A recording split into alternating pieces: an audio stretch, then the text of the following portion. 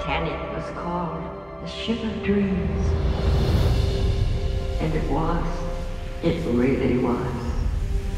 All right, open your eyes.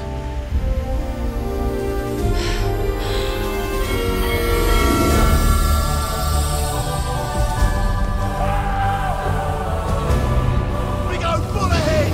Put your backs into it! Got everything I need right here with me. I figure life's a gift, and I don't intend on wasting it. You never know what hand you're gonna get dealt next. You learn to take life as it comes at you.